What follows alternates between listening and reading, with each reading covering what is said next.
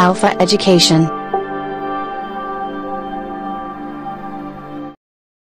वालेकुम students welcome खुश आमदीद on my YouTube channel Alpha Education उम्मीद है आप सब ठीक होंगे और अपनी लाइफ में खुश होंगे। तो स्टूडेंट्स जैसे कि आप जानते हैं कि इस सीरीज़ में हम सीमेंटिक्स के कुछ टॉपिक्स को डिस्कस कर रहे हैं और आज का हमारा टॉपिक होने जा रहा है प्रोजिडी ये आज का लेक्चर स्पेशली एक स्टूडेंट्स की रिक्वेस्ट पे मैं अपलोड कर रहा हूँ। वैसे तो मैं आपके साथ डेली ही एक लेक्चर कोशिश करता हूँ कि शेयर करूँ। लेकिन आज का ये लेक्चर कुछ स्टूडेंट्स ने मुझे रिक्वेस्ट की तो ये स्पेशली उनके लिए। तो आज का ये लेक्चर होने जा रहा है प्रोजिडी के हवाले से। ये लेक्चर नंबर टेन है और ये लेक्चर डिलीवर हो रहा है थ्रू एल्फ एजुकेशन अगर आपने अभी तक मेरे चैनल को सब्सक्राइब नहीं किया तो जल्दी से मेरे चैनल को सब्सक्राइब करें। एंड चलिए टाइम वेस्ट के बगैर आज का अपना टॉपिक स्टार्ट करते हैं। तो स्टूडेंट सबसे पहले इंट्रोडक्शन के प्रोजोडी का कंसेप्ट सिमेंटिक्स में क्या है? In speech meanings are communicated not merely by what is said but also the way it is said speech में मीनिंग सिर्फ़ इस चीज़ से कन्वे नहीं होते कि हमने क्या कहा, बल्कि इसके साथ साथ हमने वो बात किस अंदाज में कही, उससे भी मीनिंग कम्युनिकेट होते हैं। The meaning are not communicated only by what is said but also the way it is said जिस अंदाज में हम बोल रहे हैं, उससे भी मीनिंग कम्युनिकेट होते हैं.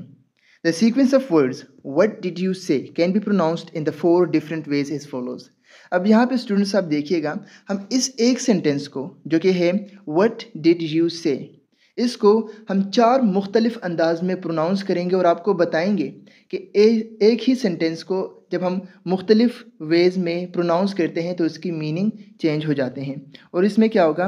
Where the most prominent syllable is indicated with capital letters and the rising और fall of voice is indicated by the letters going up और डाउन यानी हम इस सेंटेंस को जो फोर डिफरेंट वेज में प्रोनाउंस करेंगे, उसमें जो सबसे प्रोमिनेंट सिलेबल सिलेबल होगा, उसको हम कैपिटल लेटर्स के साथ इंडिकेट करेंगे और जहाँ पे टोन राइज और फॉल हो रही है, उसको हम लेटर्स अप और डाउन के साथ शो करेंगे। एग्जाम्पल्स को देखें कि यहाँ पे ये सबसे पहला वे है जिसमें हम इस सेंटेंस को प्रोड्यूस कर सकते हैं। अब हमने कहा कि जो सिलेबल प्रोमिनेंट होगा उसको हम कैपिटल लेटर से यहाँ पे इंडिकेट करेंगे। तो स्टूडेंट ये सेंटेंस कैसे बोला जाएगा?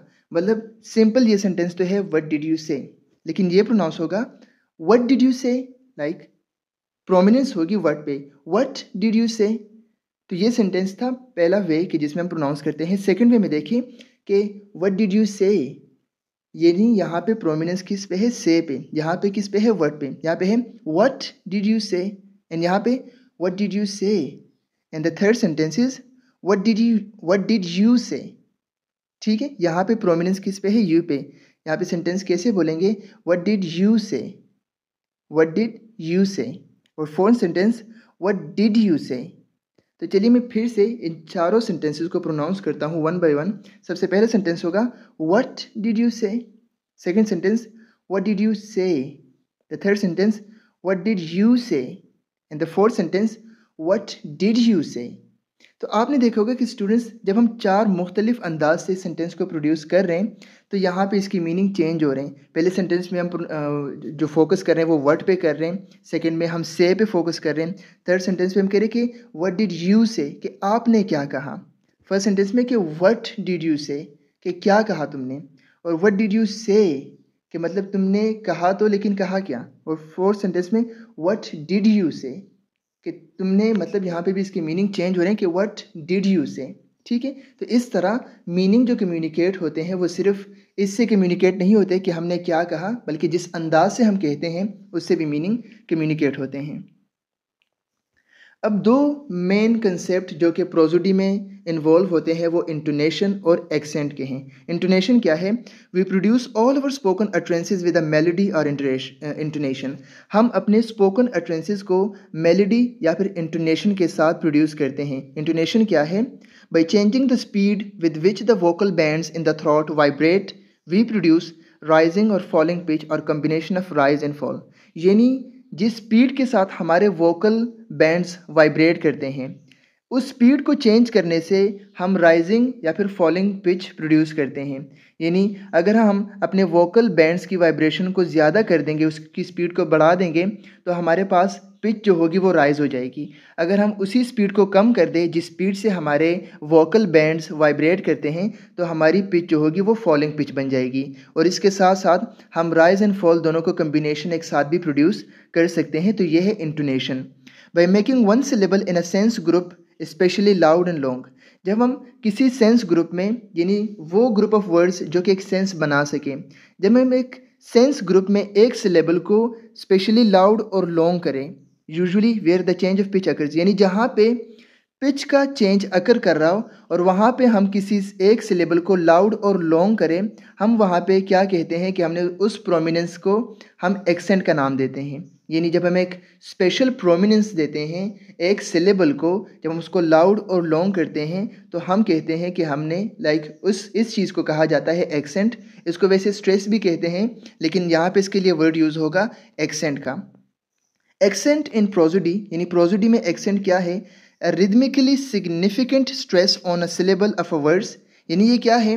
ये रिदमिकली सिग्निफिकेंट स्ट्रेस है एक सिलेबल पे। यूजुअली एट रेगुलर इंटरवल मतलब एक रेगुलर इंटरवल्स के बाद, जब हमें एक स्ट्रेस पे, एक सिग्निफिकेंट एक सिलेबल पे, एक सिग्निफिकेंट स्ट्रेस देते हैं तो उसे हम कहते हैं एक्सेंट तो स्टूडेंट्स जैसे कि मैंने कहा कि इंटोनेशन और एक्सेंट ये दोनों क्या हैं? यही दोनों प्रोजिड्यू को बनाते हैं। अब एक्सेंट क्या है? In speech there there is always an accent in some part of an utterance speech में हमारे पास एक अट्रेंस में एक्सेंट प्रोड्यूस एक्सेंट लाइक वहाँ पे प्रेजेंट होता है in speech there is always an accent in some part of utterance utterance के एक पार्ट में हमेशा uh, जो एक्सेंट है वो लाइक uh, प्रेजेंट like, होता है. And placement of accent in different parts of an utterance creates different meaning और जब हम एक अट्रेंस के डिफरेंट पार्ट्स में से एक्सेंट को प्लेस करते हैं इसको आप स्ट्रेस कह दें तो आपके लिए ईजी होगा। कि जब हम एक अट्रेंस के डिफरेंट पार्ट्स में से स्ट्रेस को प्लेस करते हैं तो उसके मीनिंग चेंज हो जाते हैं। कि अब यहाँ पे आप एक सिंपल सी एग्जांपल देखें एक्सेंट की, कि वो क्या है? कि my cousin is an architect तो यहाँ पे एक्सेंट या फिर स्ट्रेस किस पे है? आर्किटेक्ट पे। तो इस पूरे सेंटेंस में हमारे पास जो एक प्रोमिनेंट सिलेबल आ रहा है, वो है आर्किटेक्ट का। My cousin is an architect यानी मेरा कज़न जो है, वो एक आर्किटेक्ट है। तो यहाँ पे प्रोमिनेंस किस पे है? आर्किटेक्ट पे। If the utterance is broken into two or more sense group अगर हमारे पास एक अट्रेंस ऐसा हो कि जिसको हम दो या दो से ज़्यादा सेंस ग्रुप में डिवाइड कर दें या फिर ब्रोक कर दें each group has its own accent तो फिर हर एक ग्रुप का एक अपना ही एक्सेंट होगा। The last accent is ordinarily the most prominent of all because the pitch changes on that syllable अब यूजुअली क्या होता है कि जो आखिरी एक्सेंट होता है, जो आखिरी सिलेबल होता है उस पर हमारे पास एक्सेंट फॉल करता है, क्योंकि वहाँ पे जो पिच होता है वो चेंज हो रहा होता है।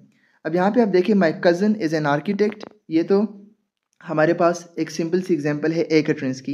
लेकिन हमने कहा कि अगर हम एक अट्रेंस को डिफरेंट सेंस ग्रुप में डिवाइड कर दें, जैसे एक कंप्लीट एंट्रेंस है, और हमने कॉमा लगा के इसको डिफरेंट सेंस ग्रुप में डिवाइड किया है तो सबसे पहले आप देखें कि my cousin Edward who lives in Fulton is an architect तो यहाँ पे हर एक सेंस ग्रुप में अपना ही एक एक्सेंट है।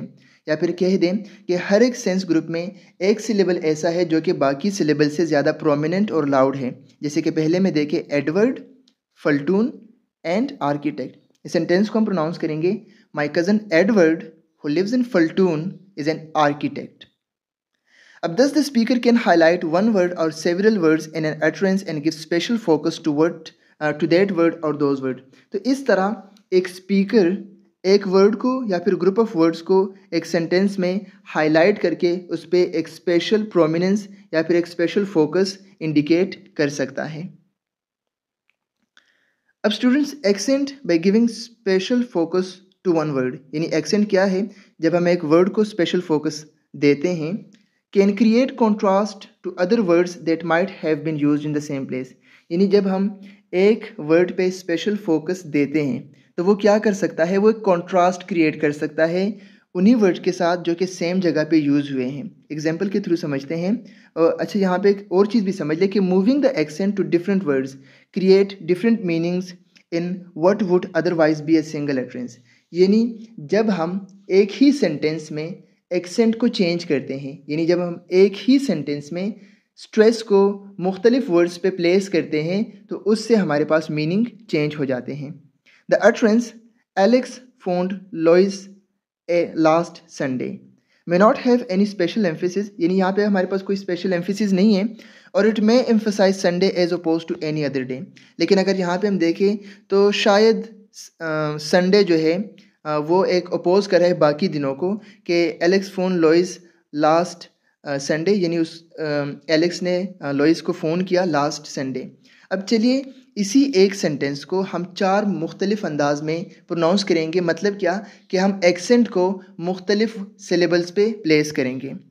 Each of the following utterance has an emphasis that makes a contrast which is the contrast in each case अब आप बताएँगे कि नीचे कॉन्ट्रास्ट किस आ, किस हवाले से है। सबसे पहला ट्रेंस है Alex phone Edna last Sunday अब यहाँ पे हमारे पास सेंटेंस क्या है कि Alex phone Edna last Sunday तो यहाँ पे अब देखिए, अगर हम एम्फोसिस लास्ट पे दे दें तो सेंटेंस कैसे प्रोड्यूस होगा? Alex phone Alex phoned Edna last Sunday तो इसका मतलब यहाँ पे एम्फोसिस किस पे है कि हमने लास्ट जो एलेक्स ने फ़ोन किया था एडना को उसने लास्ट संडे को किया था. इसी तरह Alex phoned Edna last Sunday यानी एलेक्स ने फ़ोन किसको किया था? एडना को किया था. Alex Alex phoned Edna last Sunday और इसके साथ Alex phoned Edna last Sunday यानी एलेक्स ने क्या किया था? फ़ोन किया था। मतलब या तो हम कह सकते हैं कि लेटर भेजा था या फिर उससे मिला था, लेकिन नहीं। Alex phoned Edna last Sunday और इसी तरह Alex phoned Edna last Sunday चलिए, मैं अब इन्हीं चारों सेंटेंसेस को एक स्पेशल वर्ड पे एम्फेसाइज करके आपके सामने प्रोनाउंस करता हूँ ताकि आपको क्लियर हो जाए।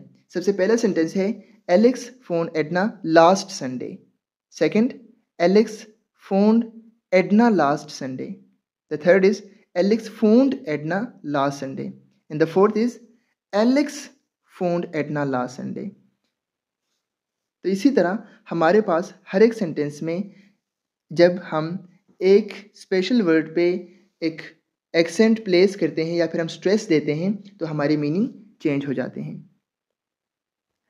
अब आते हैं इंटोनेशन के कंसेप्ट पे। इंटोनेशन क्या है? Intonation is achieved by different vibrations of the vocal cords जब हम वोकल कॉर्ड्स की डिफरेंट वाइब्रेशंस प्रोड्यूस करते हैं, यानी हम उसकी वाइब्रेशन को स्पीड अप करते हैं या स्लो डाउन करते हैं तो हमारे पास इंटोनेशन होती है मतलब पिच राइज या फिर फॉल करती है। इसी तरह greater frequency of vibration result in what we call higher pitch जब frequency of vibration vocal cord की जब वाइब्रेशन की फ्रीक्वेंसी ज़्यादा होगी तो हमारे पास क्या होगी? हायर पिच और इसी तरह, जो वोकल कॉर्ड्स हैं, उसकी फ्रीक्वेंसी ऑफ़ वाइब्रेशन कम होगी तो हमारे पास फॉलिंग पिच बन जाती है।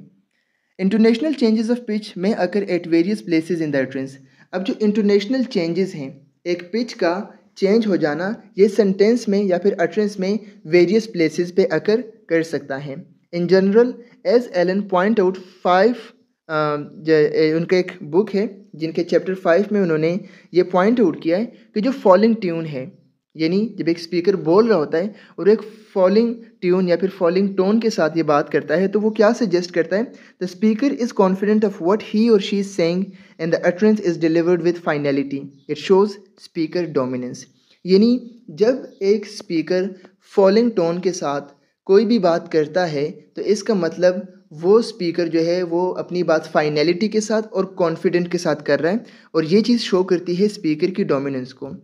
A rising tone is more oriented toward the addressee लेकिन जब हमारी टोन राइजिंग होती है हाँ लाइक हमारी टोन जब राइजिंग होती है तो वहाँ पे जो स्पीकर होता है, वो अपने एड्रेसी के साथ ज़्यादा ओरिएंटेड होता है।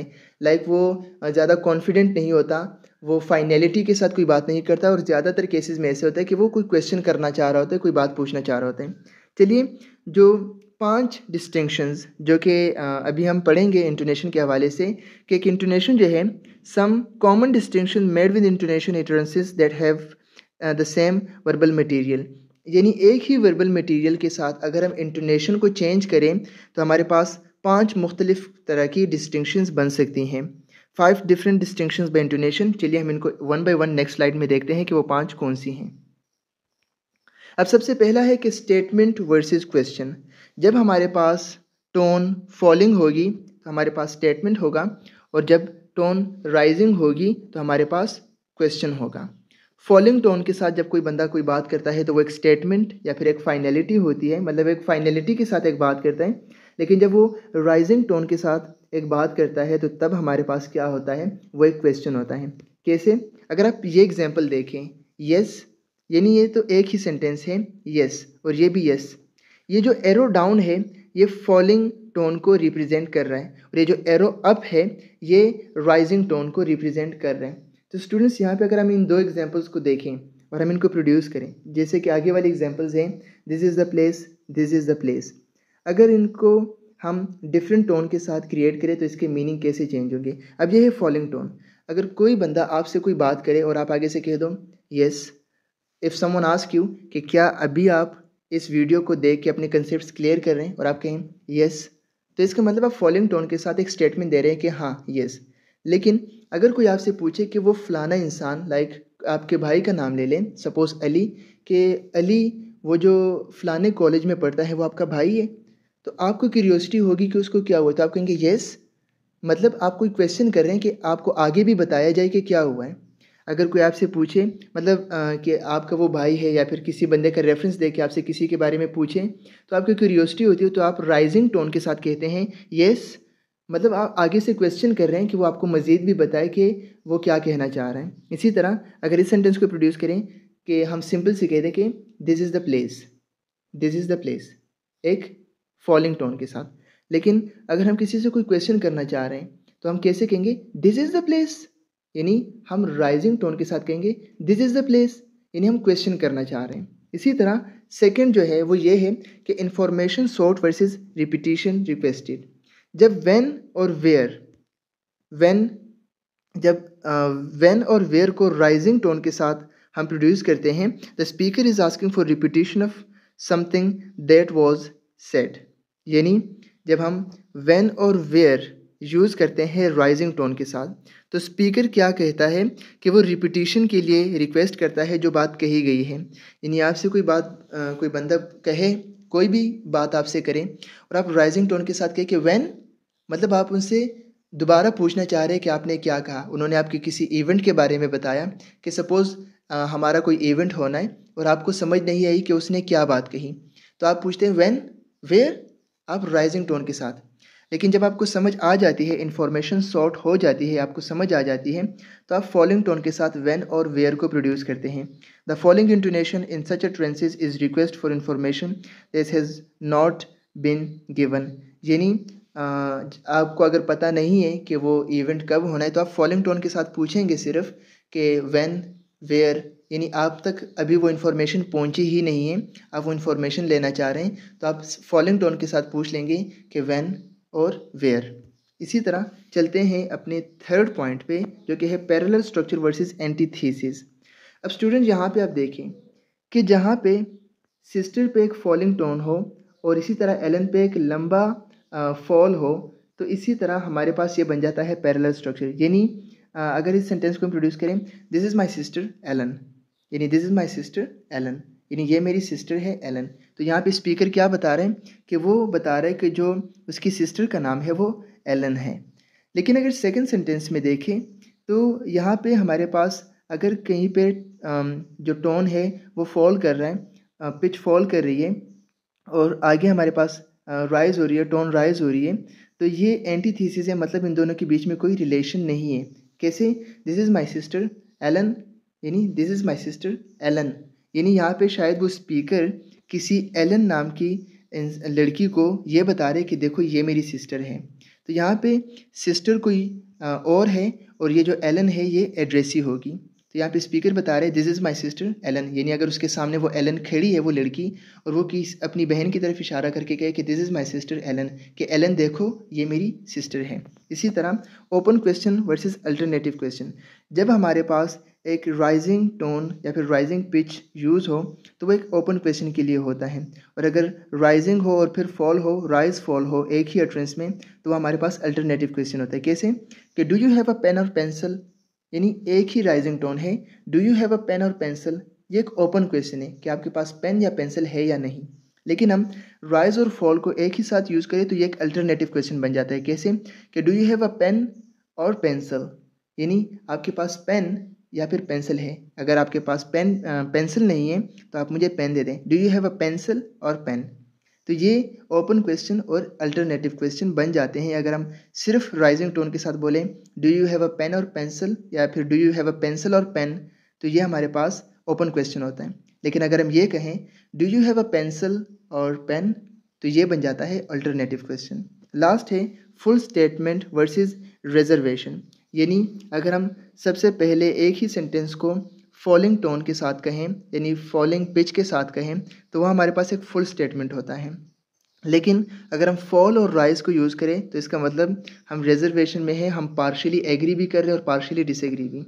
अगर यहाँ पे हम कहें दैट्स ट्रू तो ये मतलब हमने सारा सेंटेंस ही फॉलिंग में बोला या फिर सारी एट्रेंस ही फॉलिंग टोन के साथ प्रोड्यूस की तो इसका मतलब ये एक फुल स्टेटमेंट पे कि दैट्स ट्रू लेकिन हम यहाँ पे करें दैट्स ट्रू यानी हम फॉल कर रहे हैं फिर इसके साथ राइज दैट्स ट्रू तो यानी हम यहाँ पे पार्शली एग्री हैं। तो स्टूडेंट्स ये फाइव डिस्टिंक्शंस है जो हम इंटोनेशन के थ्रू यूज़ करते हैं। यानी एक सेंटेंसेस um, और रेटरेंसेस को प्रोड्यूस करते हुए उसके जो मुख्तलिफ़ मीनिंग्स बनते हैं। यानी ये डिफरेंट इसके फ़ंक्शंस हैं कि या तो हम आ, कोई स्टेटमेंट दे रहे हैं या फिर हम कोई क्वेश्चंस कर रहे हैं। ये सारा किसके थ्रू होता है? इंटोनेशन के थ्रू तो स्टूडेंट्स ये था आज का लेक्चर अगर आपको लेक्चर की समझ आई हो तो प्लीज़ चैनल को सब्सक्राइब करना मत भूलिए। ये लेक्चर अपने दोस्तों के साथ शेयर करें ताकि उनको भी इससे फ़ायदा हो। अपने ढेर सारा ख्याल रखिए। इन नेक्स्ट लेक्चर में एक नए कंसेप्ट के साथ हाजिर होंगे। तब तक के लिए अल्लाह हाफिज़।